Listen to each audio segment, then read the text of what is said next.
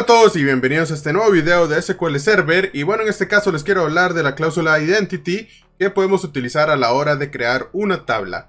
¿Para qué nos va a funcionar? Pues básicamente es un contador automático que va a ir creciendo según como lo indiquemos. Así que el ejemplo es bastante sencillo. Vamos a crear una tabla que se va a llamar, bueno test podemos ponerle porque en realidad si lo han notado en, cuando creo una tabla y que le pongo un campo ID Normalmente es una cédula o algo así, pero también he hecho algunas eh, que tiene un campo ID aparte de un identificador como el DNI o el código de ítem. Que yo les he dicho que no importa demasiado, que básicamente es un identificador dentro de la tabla ahí que va a ir subiendo. Por ejemplo, el ítem 1, 2, 3, 4 y así en demás. Ok, cuando es ese caso, podemos utilizar esto del identity para incrementar el número sin necesidad de que nosotros tengamos que seguir, digamos, el orden que lleva. Ya les explico mejor. El campo, digamos, ID, ahora sí. Que sea un integer. Eso sí, tiene que ser un número. Eh, podemos poner que sea primary key. Y vamos a pasar al, bueno, al siguiente campo.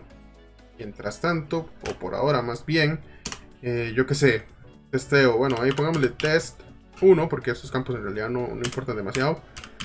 Ahora sí tenemos que concentrarnos en el ID. Ok, marchar, me falta una R, aquí está. Y eh, de otro campo más, queda lo mismo. Solo para que se vea algo en la tabla. Bien, entonces tenemos una tabla ahí sencilla de testeo. Y lo que nos interesa o lo que tenemos que enfocar es esta parte del ID. Hasta el momento lo que les he enseñado entonces cuando tengo que ingresar un ID tengo que ir yo y poner digamos el ID 1 puede ser el 2, el 3 o cualquier número en realidad. Ahora si yo quiero que sea un número consecutivo que vaya en orden por ejemplo que sea 1, 2, 3 ahora sí digamos 4, 5, 6 y así, pero no tener yo que tener en cuenta cuál es el último número que existe y ponerlo manualmente, sino que se vaya poniendo solo, pues entonces vamos a utilizar el campo identity. Con esto, entre paréntesis, ¿dónde está el paréntesis aquí?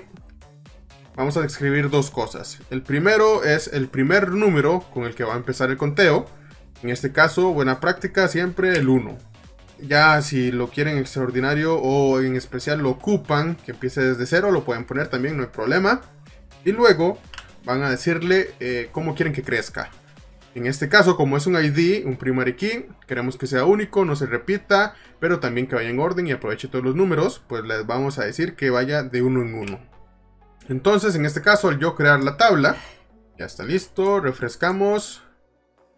Vamos aquí a la tabla test intentamos ingresar datos, vamos a ver que en primer lugar el campo de ID me sale como, no sé si lo notan ahí ustedes visualmente en la grabación, pero se ve de un color un poco diferente, como en lugar del negro se ve como un color gris ahí, y además de que si intentan escribir un número no los va a dejar.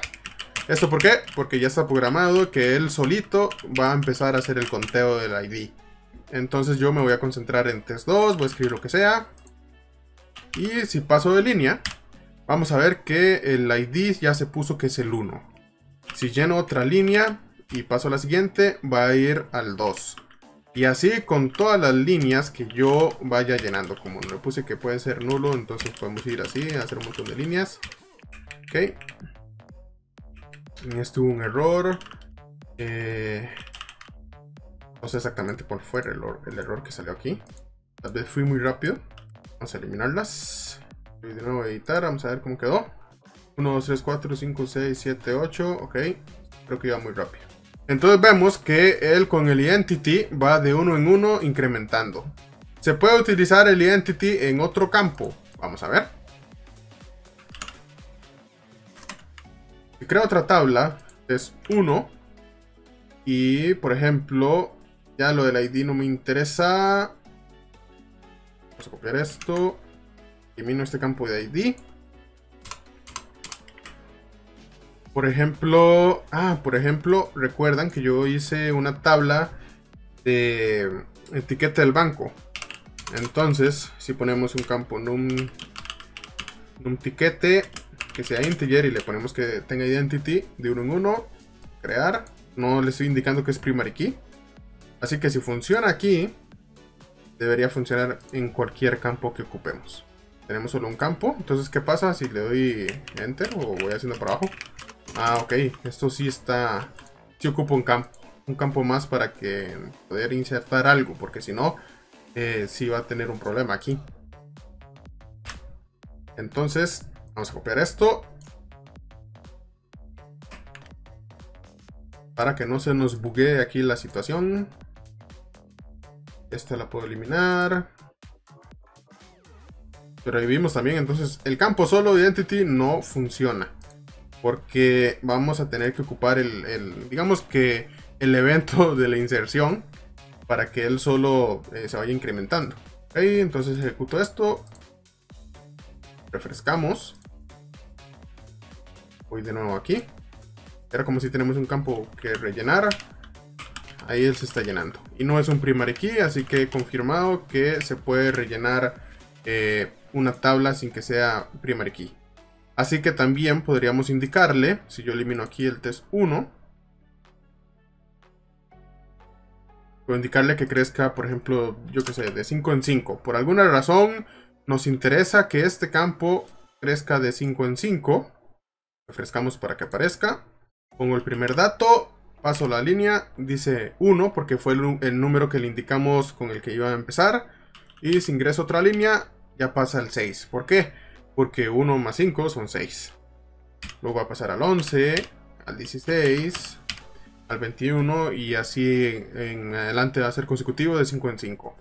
Así que pues bueno, básicamente eso era lo que quería mostrarles en este video, cómo funcionaba el Identity al crear una tabla. Y pues bueno, ahí me pueden poner en los comentarios qué idea se les ocurre eh, para que sea útil este campo. A dónde lo pueden utilizar en, un, en la vida real, por ejemplo. Y pues bueno, ahí lo voy a estar leyendo en los comentarios. Así que bueno, esto sería por este video. Espero que les haya gustado y les haya servido. Si es así, les agradezco que se suscriban al canal y que activen la campana para que se den cuenta cuando hay un video nuevo. También que se unan a las redes sociales, sobre todo a Instagram, que estamos ahí bastante activos. Y pues nada, nos vemos en un próximo video. Hasta luego.